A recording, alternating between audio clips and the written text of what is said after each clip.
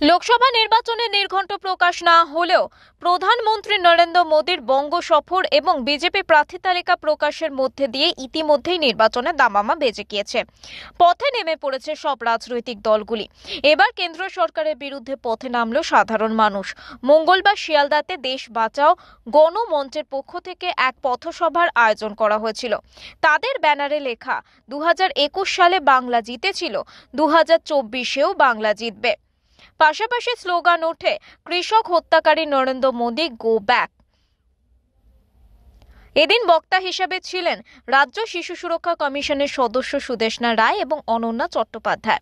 বিশিষ্ট সাংবাদিক তথা রাজনৈতিক বিশ্লেষক সুমন ভট্টাচার্য এবং বাসুদেব আচার্য। এছাড়াও উপস্থিত ছিলেন রাজ্যের প্রাক্তন শ্রম মন্ত্রী পূর্ণেন্দু বসু এবং রাজ্যসভা তৃণমূল সাংসদ দোলা সেন। এদিন বিশিষ্ট বক্তাদের ভাষণে নিশানায় ছিল কেন্দ্রের বিজেপি সরকার।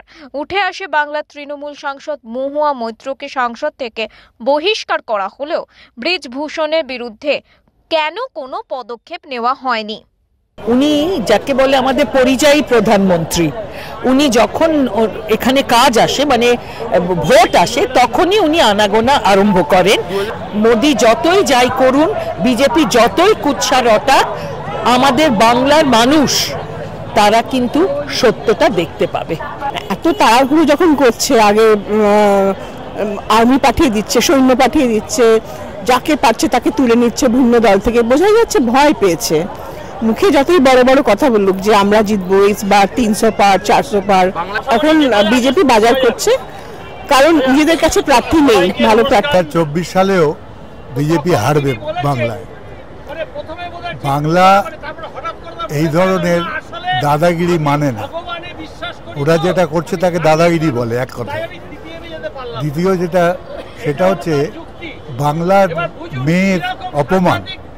এটাও অন্তত বাংলার মানুষ সাধারণ মানুষ এটাকেও মেনে নেবে না। বাংলার মানুষ এবং ভারতবর্ষের মানুষ নরেন্দ্র মোদী এবং অমিত শাহকে দেশদ্রোহী দুজন নেতা হিসেবে চিনে নিয়েছেন।